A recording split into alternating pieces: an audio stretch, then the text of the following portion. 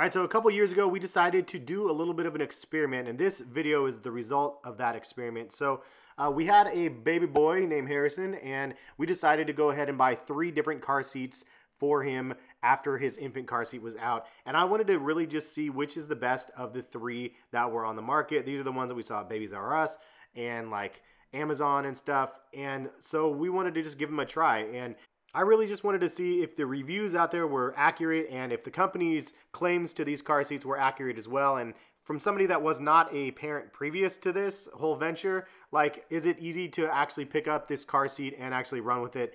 And this video is kind of the results of that. So hopefully you guys find it uh, somewhat informative. I know that there are actually three different price points for these car seats, and part of the reason why I wanted to choose uh, to buy three different ones in three different ranges is just see if the more expensive one was actually worth paying for or not.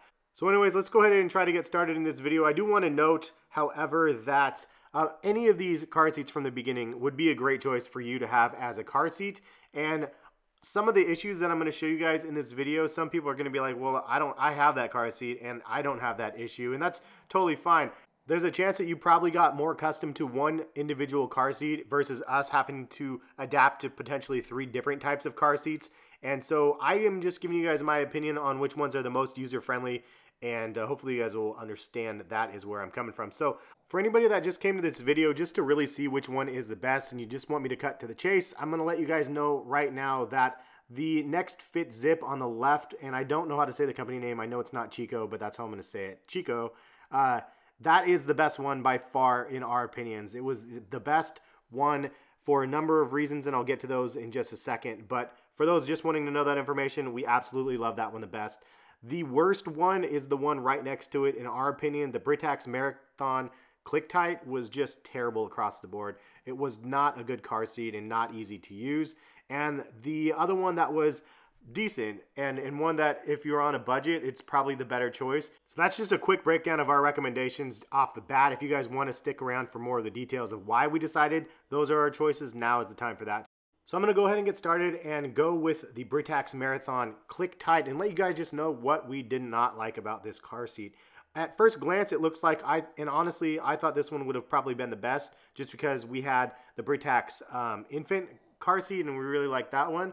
But the design of this one is just bizarre. It's not easy to adjust. The straps on the legs, especially for Harrison when he sits in the car seat, give him way too much pressure around his thighs, and there's no real easy way to adjust that. I don't understand how or why, but the overall like lockdown is just bizarre over top of him, and it just does not fit. So one other thing that I think is kind of annoying is the cup holder. It just falls off really, really easily. It has kind of a really bad design on the side of the uh, car seat. Now I like that it's close to Harrison. He can actually grab his snacks or his drink because it's fairly close, but it doesn't really work very well if it comes off really easily. And it's actually warped the car seat plastic around where it's supposed to latch onto. So it's just not a very good solid design in my opinion.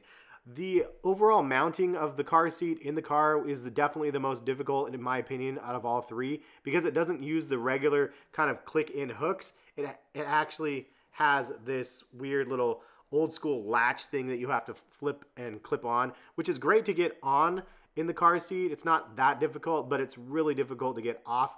But by far the thing that I hate the most about this car seat is the fact that you have to reach your fingers in so darn far to actually be able to unclip uh, the buckles. Like it's super awkward and it's really bizarre how deep that little hole is to be able to actually click the button. And I find that a little bit annoying. Maybe there's a safety reason why, so the kid can't reach in there and do that, and I can respect that. But when you can't actually reach your fingers in there either and actually unclip it very easily, I find it just fairly uh, like distracting. And the last thing that I really didn't like about this car seat is the overall shape inside the car is actually really bizarre. Like the base and the back part, like I get you can tilt the, the car seat, but there's such a huge gap in the back lower bottom section of the car seat that it makes it really difficult to actually get in the car seat and actually cinch it down as tight as you can. Uh, so I thought the overall shape of that was a little bit odd. Now, a couple of things that I really do actually like about this car seat is one, the headrest is really easy to adjust, and two, the fact that the um, the car seat is fairly washable. I think that both of those are nice features of, of the car seat. And aesthetically, I think it looks nice, but overall, it was just the worst investment out of the three car seats. So the next car seat I wanted to give you guys information on is the Graco 4Ever 4-in-1. As I mentioned, this one is a good car seat, but uh, there was some things that we liked and a couple things that we didn't like. One that we didn't like is the crotch padding. The fact that there was no crotch padding where the buckle was was a little bit annoying. The other two had really nice padding uh, between that area, which is kind of a plus. Um, the other thing is that the release is just the opposite of what you would expect. You don't push down, you have, have to dig in and pull back and I think that that was a little bit odd. Part of the reason might just be because we're not used to it, and uh, we are used to the Chico one instead, because that is our primary. The other thing that um, we really didn't like about this design was the cup holders. While it's awesome that they actually have two, and that is a plus, um, it's kind of a negative, at least in the earlier years, because Harrison was too short to be able to reach the cup holders. They're too far uh, forward, and so he's strapped so far back that he actually couldn't reach his snacks and stuff uh, in the car. So that was kind of a bummer. A couple other small things is the cushioning on the uh, straps across the chest. Those things um, fall off pretty easily as well. So that's not that fun that they just fall off or they just get twisted really easily. And just the overall materials in the car seat are not the greatest. It just is not as breathable. And if it gets really hot in the car seat in general, like our kid is really sensitive skinned, so it's not the best probably for him. So some of the things that we do like about the car seat, similar to the other two, it's really easy to adjust the uh, headrest as well as the uh, decline of the seat. And also the straps and the adjustment of the car seat are fairly easy to get used to and easy to um, attach and detach. So all of the base fundamental things that you look for in a car seat are definitely here with this one. So moving on, we wanted to go ahead and cover the Chico Next Fit Zip, and I apologize again, I'm not saying it right. I already know. This car seat uh, definitely was our favorite and still is to this date. And I'll get into some of the things we don't like first and then some of the things that we like. Number one is the cup holder. Similar to the other one, it falls off fairly easily, but it is more uh, sturdy than the Britax one.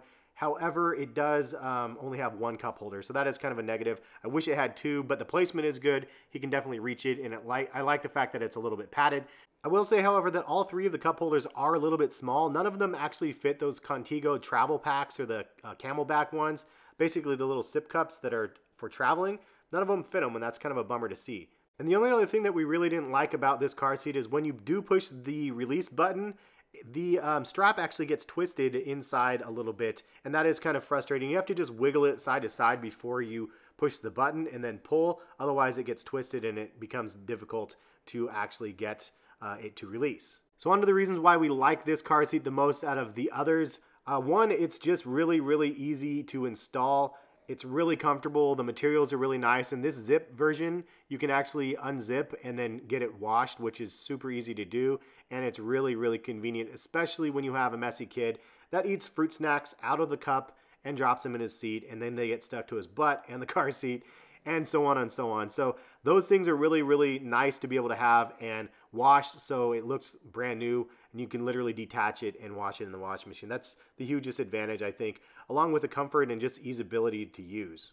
I also really like the material in general. This is the air version, so it is really breathable and it has kind of a neoprene covering. So it's just all in all uh, the best out of the three car seats and definitely worth paying the premium price for getting that. And the comfort for the kid is super important because for us, he travels in a car seat for 40 minutes, maybe an hour in a day because he has to travel uh, to two different cities at least twice a week. So it's really important that he's comfortable and cool uh, when it's hot and the windows are up and the sun's beaming through. Just making sure that he's cool is really important to us. As I mentioned with the other car seats, the headrest is really easy to adjust.